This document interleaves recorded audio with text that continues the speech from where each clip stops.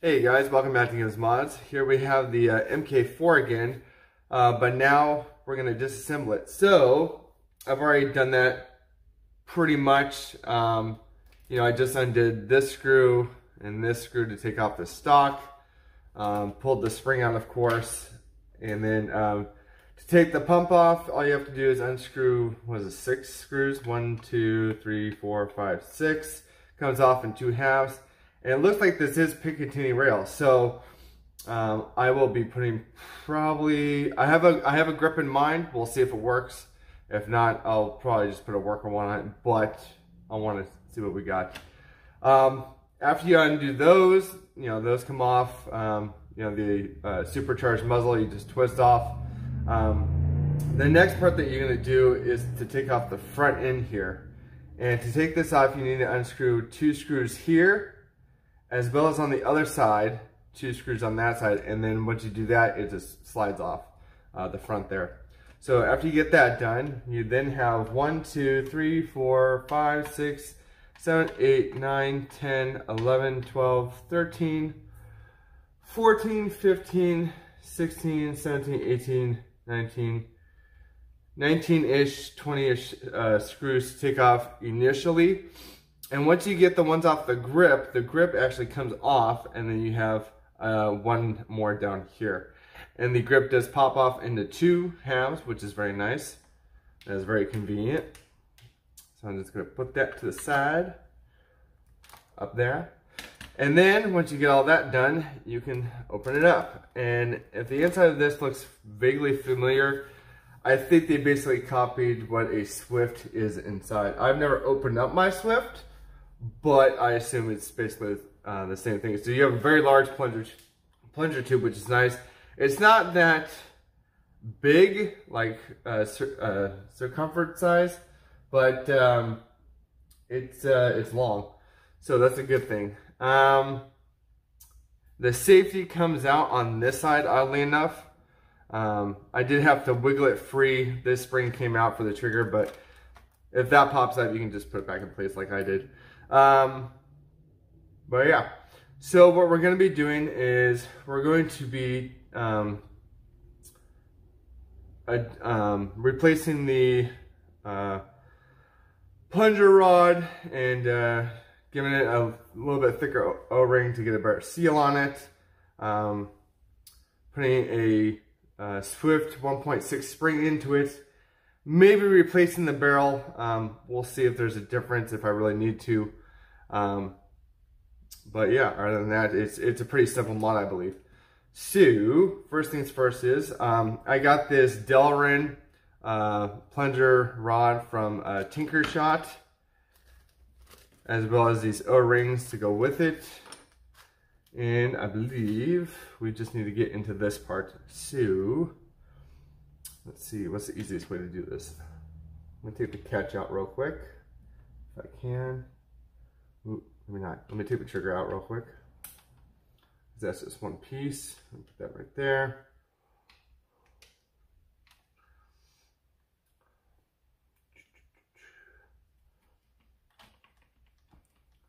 See the bar there, priming bar. Not really sure what this is. Because down here is all the uh, mechanics of it. Um,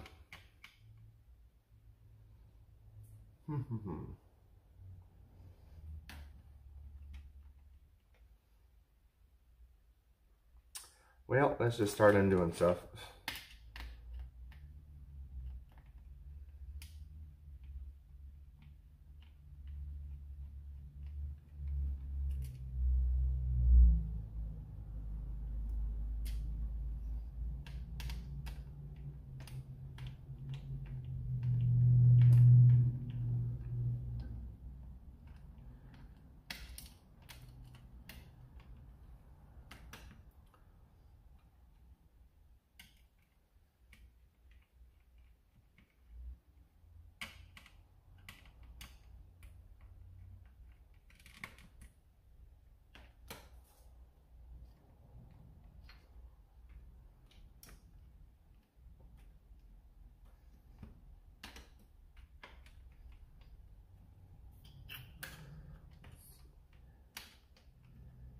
All right. Let's see, is this loose enough to come out?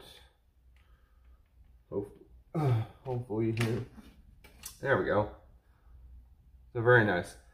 So that just wiggles out the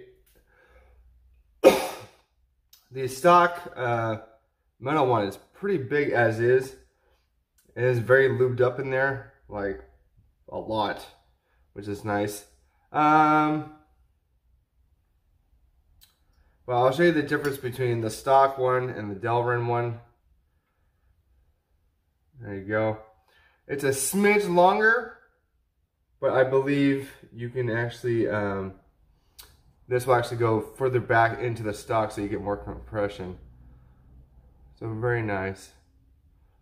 We are going to take this plunger uh, padding off and put it onto this guy. So I might as well do that now. Um, let's see here. Ooh, very slippery.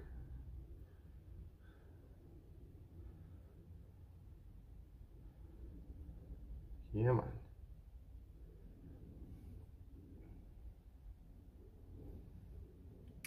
There we go.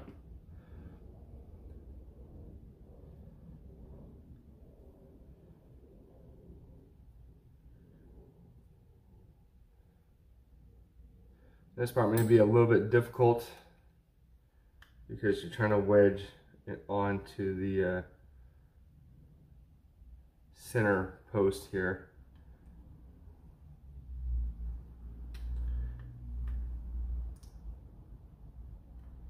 Alright guys, so I got that on. Uh, very difficult. so basically what you want to do is you want to push in on one side and using a small flathead, kind of work your way around the inner tube so it you know, it, it envelopes around uh, that center post there just enough to where it's uh, sitting down. And I noticed when I was pushing it in, the um, it was very difficult because this part kept popping out. So you almost have to push in a little bit more and then push in with this side and it should just pop into place. But uh, it does take a little bit uh, work and finesse. So be wary of that. Um, now we're gonna put the O-ring on. I'm gonna put on this green one because it looks like it might have a better seal.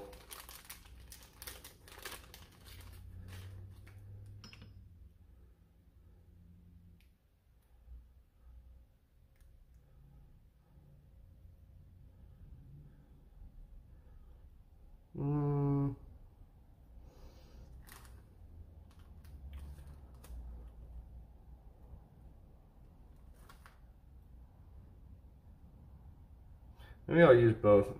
Actually, or if I can use the ones from there. Let me see here.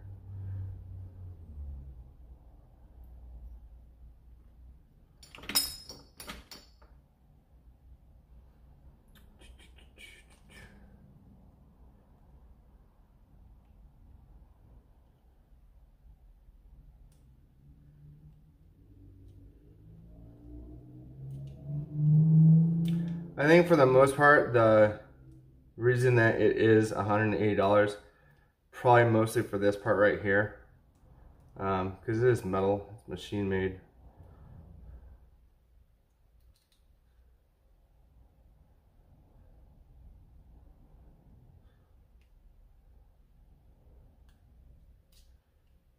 And there's no really taking it apart. So it is one piece. It's better to have it moddable because if you do have a problem, you can always take it uh, back down. I'm actually going to put both of those on there just to get a better seal. There we go. Cool. Uh, okay, now let's see. The next part is... Oh, that won't work with that one. Nope. Let me take that extra one off.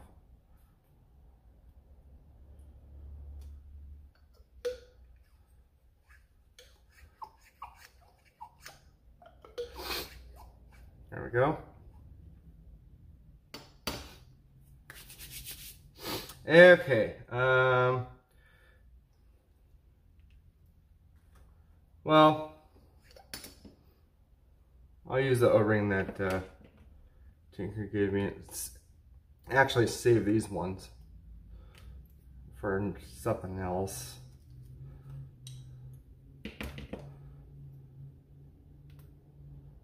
See, it's already starting to come out, or it's trying to. There we go. That thing's a little fidgety in there. I don't, I don't like that piece. um, and then there's red one in here. Me get at it.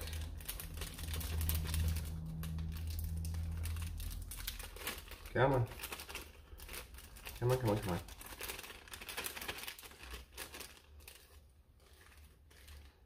A red one in here. We're actually going to put onto this piece. So I need to get this out if I can. Is that, trying to see how that's put together. Is this all one piece? Oh, that's just, this is rubber. Oh.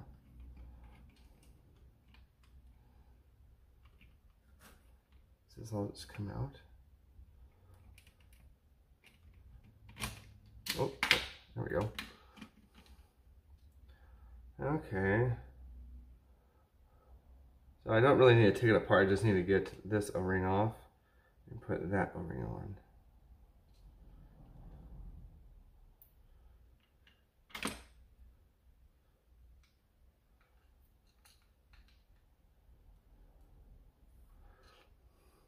There we go.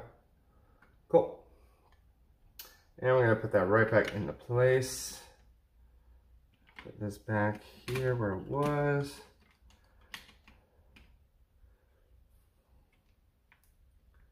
Right in that groove there.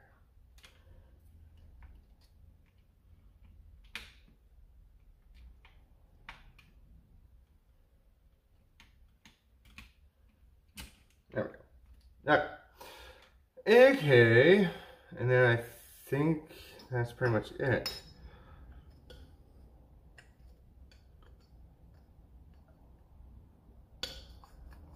Yeah, I think we just put it back together now. Um, yeah, right? And just put it back together. Um,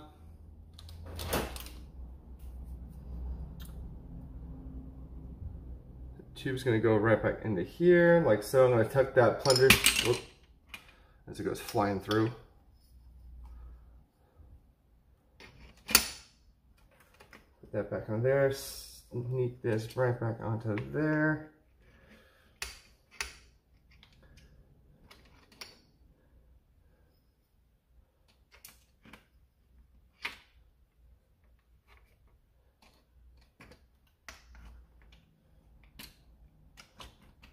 All right, guys, so I got everything kind of back together. Um, so I did want to note one thing uh, before you put the trigger in, of course. Um, this piece came out, and I want to make sure that I tell you guys how to put it back in. So it's kind of shaped weird. It's kind of shaped like, if you look at this way, it's kind of shaped like a J uh, sideways. And on this side, it has another little piece, but it's also kind of slanted if you keep turning it, right? Well, that slant is going to go along this. So you're gonna hold this down, put it in like that, and you're gonna wanna make sure that the J hook is around this uh, rubber or silicone part. And you should just be able to fit it just like that. So if you get a little confused, just put in like that. Um, with the plunger tube, I had to pull up the catch almost totally out just to fit it back in there, but it's on there now. Fits fine. Um, now, the fun part, we're going to put a new barrel, um, even though you don't really need it. To, uh, I, I, ordered the barrel and the spring from uh, Darts. The spring is mostly what you need for it to be higher power. Um, but I'm gonna put a long barrel on it just because um, then I could put a SCAR or a B-car on the end of it. Um, so that should be fun. Um, now, let's see. I have a package here from out of darts with the spring and the barrel in it, which I've yet to open. So we will see what it looks like. I'm not exactly sure if I need to, I'm gonna guess I have to loosen this maybe. I don't think that's a loose fitting barrel, is it? Something's tight on it, but it's hard to determine what. These two are just holding this piece down. So maybe this end piece, we'll find out.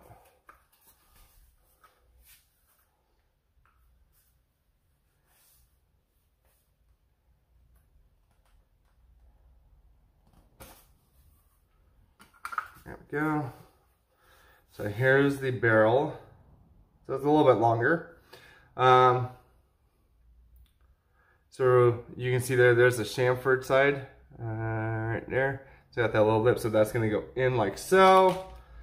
And then we have the big old spring, of course, in this guy.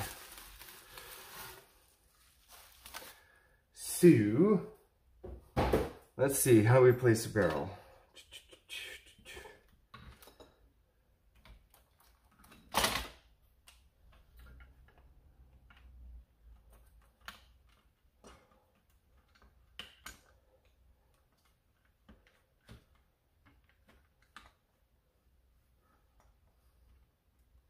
That part goes in. Maybe I'll go undo these two screws just so I have more freedom with it.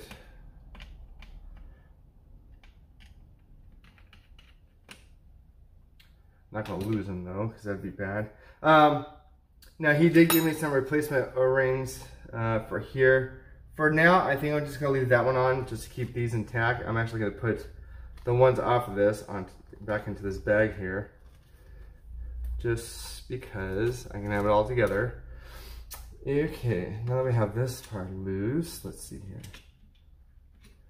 How do I get that barrel out? I wonder if I have to undo those two. Just because.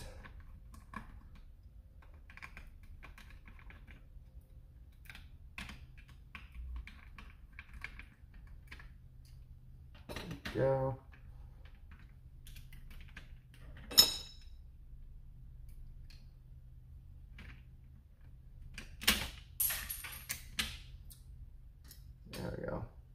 Okay, so you can actually see where that locks in with the uh, top priming bar there, so that's pretty cool. And hopefully, this should, ooh, that is in there. How well is that in there? That's the real question.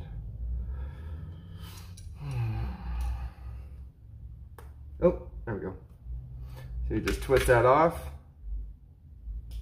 I'm hoping the same with this. yep, there we go. Cool. So there's the stock barrel off. Leave that right there. Chamfer side is going to go into that end. It is a really good friction fit though, so I will give it that. So that's a positive thing. Um,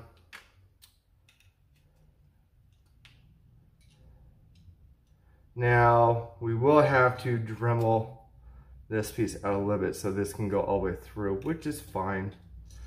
Okay guys, so I decided um, not to Dremel out uh, the front piece only because um, I, this piece you actually need to use with the uh, super, was it supercharged muzzle that came with it.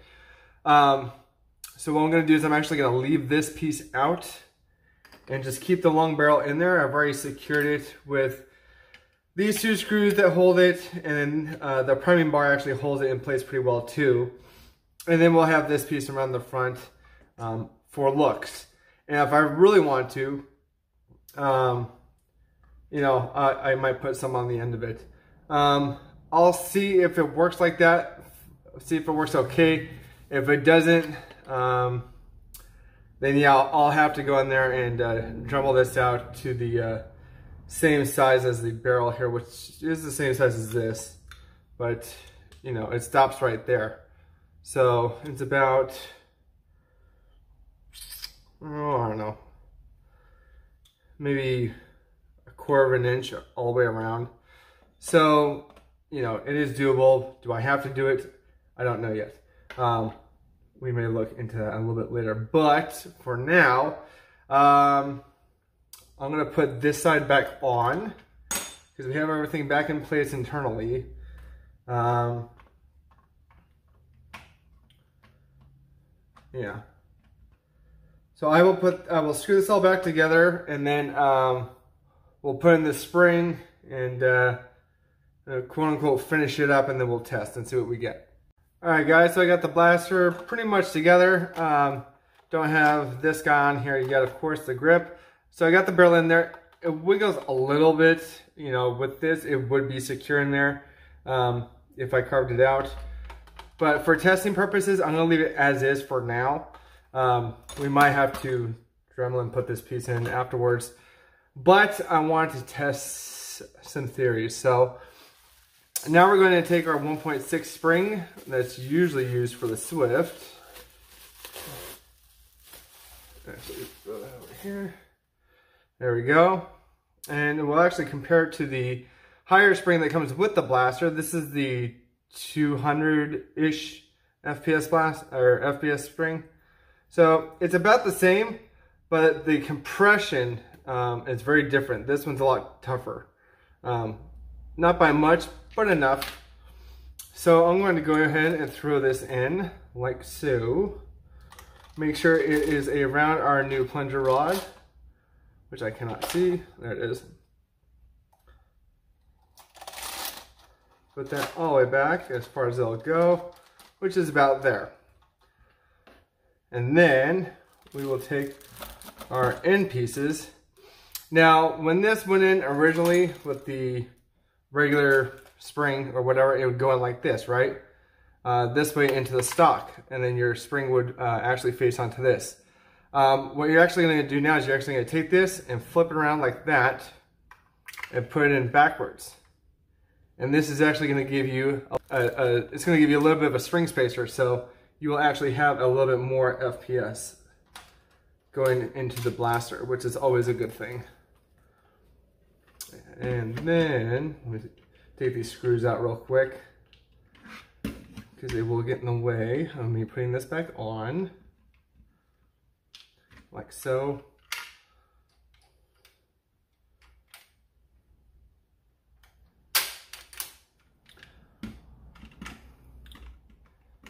You can push the, uh, the orange piece all the way back if you want. I did a little bit just to get the spring in there and then the spring will push the rest of it back in like so. There it goes.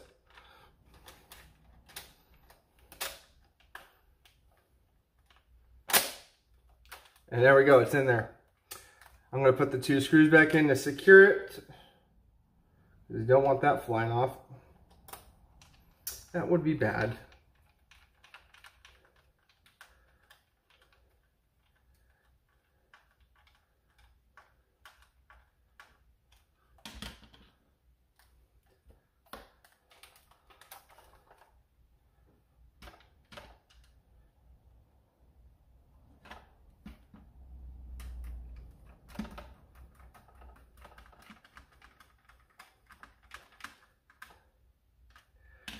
There we go. And you're pretty much done. Um, more stuff falls. Um, so now, I believe, well, if we really want to, I know there's a detent in there. Okay, we'll, we'll leave this off. Um, I'm gonna put a B car on the end just to see how it feels. I'm gonna put a different grip on it. I'm actually gonna put the top priming slide grip from the Unicorn on the bottom because I like pumps more than I like uh, uh, foregrips, but that's my style. I also wanted to see and make sure that this takes regular Talon mags, um, so I'm gonna go grab some of those and uh, we'll test and see. All right guys, so I got the, uh, the grip from the Unicorn, the top grip I guess. Uh, I wanna put this on here. Uh, let's see here. should just slide on. I don't think that's going to be too big.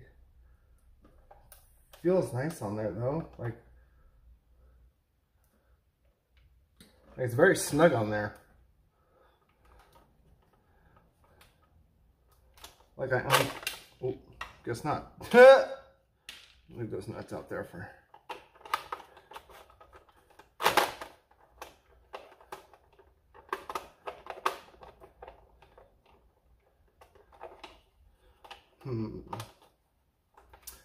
think it's gonna be too big, yeah. Um, wheel. I'll just put a regular worker uh, worker grip on it in a second here. All right, guys, I put the angled worker uh, grip on there, and it, it's fine. Um, the other thing I want to put on is this red uh, B-car on there. Thought that looked pretty good with all the red. There we go.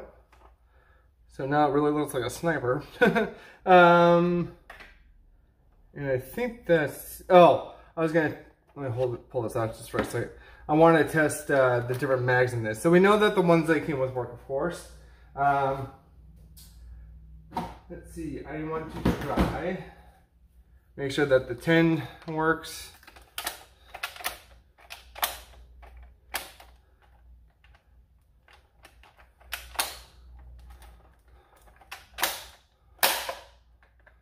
We go. You kind of have to ram the mags up in there, but it's in there, and that works fine.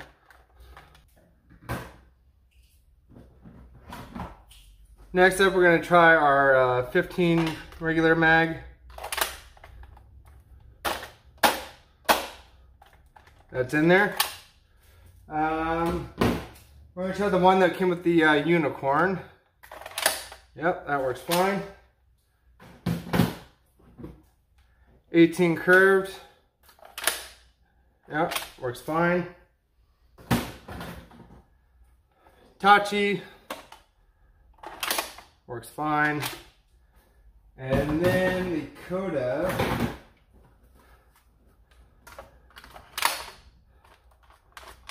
Yeah, works fine. It's a little loose, but you know, it is what it is.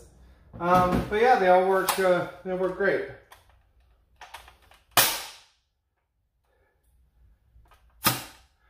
Actually, now it has a really good seal on it. Um, so I'm going to go ahead and load up a mag with um, a couple of the darts that it came with and uh, it? sorry. I'll load up a mag, uh, probably the one that it came with, with a couple of darts that it came with and uh, we'll see what kind of uh, FPS uh, um, ranges we get out of it now that we've upgraded the uh, spring and the barrel. Um, so yeah, see you guys in a second. All right, guys, here we are at the door with the uh, very sniper-esque looking um, Dart Zone Pro Mark 4.0 now, uh, with the extended barrel and the Swift spring. Basically, they're both Swift parts. Um, and then I added on the uh, worker angled foregrip. Um, I loaded up one of the mags that came with it with the darts that came with it. These are the Dart Zone Bamboo, I guess 2.0 darts. They're a little bit different on the head, but uh, pretty much the same. But there's five in here. Let's see what kind of uh, average shots we get with this, and uh, yeah, I'm excited. Let's let's see. Whoa, 317. 293. 316.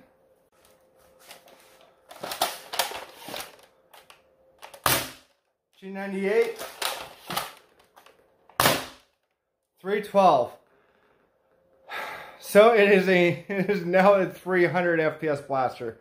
Um, so yeah, I may Dremel out that one bit and put it in just for stability for this really long um, um, barrel. But other than that, pretty simple mod, guys. Um, you just need the parts. Um, just need to do what I put uh, in the video here, and you should be good to go. I'll leave the links down for the um, upgraded internal parts, the internal uh, plunger tube, and the O-rings, and all that stuff from Tinkershot uh, from its Etsy. I'll put that in the description, as well as the uh, Swift spring and barrel. Um, I think I got those from Out of Darts. So yeah. Um, yeah, I think it's really cool now. we made a good blaster, much better and much worth uh, uh, $180. So good. Um, I have some exciting news. I don't want to give anything away yet because I want you guys to be in suspense. but um, I'm I don't know exactly what day, but it's going to be the day either the day before or the Thursday before Armageddon. Um, I will have a video up, a special video.